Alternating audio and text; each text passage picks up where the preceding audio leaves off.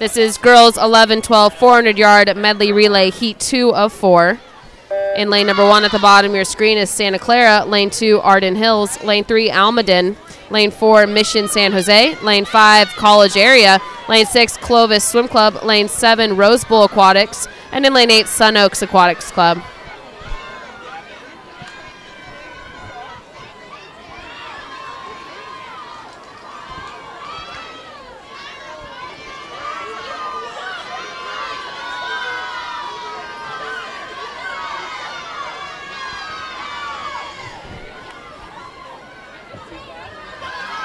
In the waters, uh, heat two of four, event 35, girls 11 and 12, 400 yard medley relay.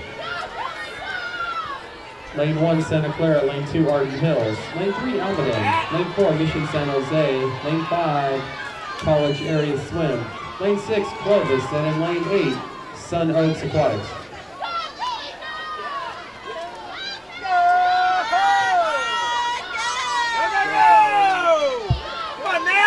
The girls down in lane number two from Arden Hills will be the first to enter the butterfly. It should be the breaststroke leg. 106.71 for their leadoff.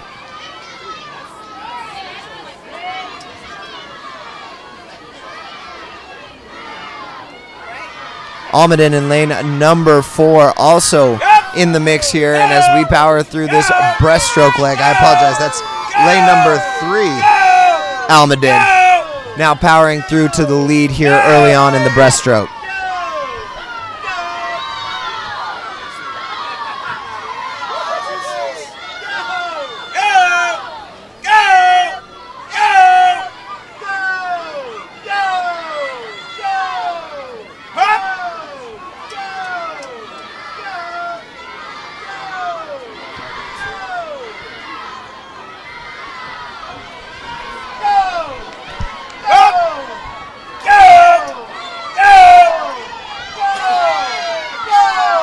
Almaden taking charge during this breaststroke leg, Tiffany. Let's see if they can hang on here in the back half. They've got about a body length lead entering the 200 mark.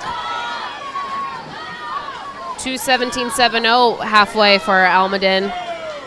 Great underwater there for lane number two. That's Arden Hills. And Arden Hills had the lead at the first 100. They had the fastest backstroker. And now it looks like after 125 a butterfly, they might have the fastest butterflyers. Well, look at those underwaters. You're right, Tiffany. Nearly 12 and a half yards off that first turn for the Arden Hills butterflyer down in lane number two. And now they've taken a pretty significant lead over Almaden in lane number three.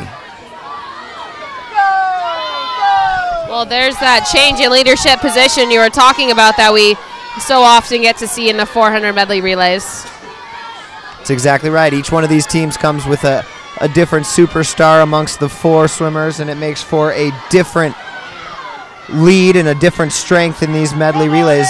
Arden Hills has a strong butter, butterflyer. They had a great backstroker as well. Let's find out what they've got here on the anchor leg. They're going to be the first into that anchor leg by nearly 10 yards, is now the new second place team up in lane number six. That's Clovis.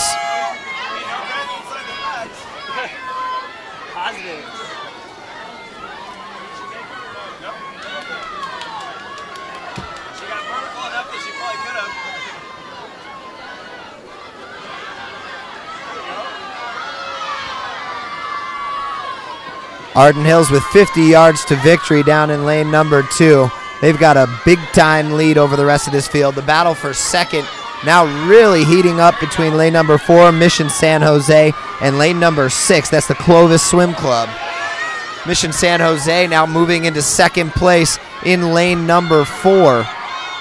But down in lane number two, it's Arden Heights.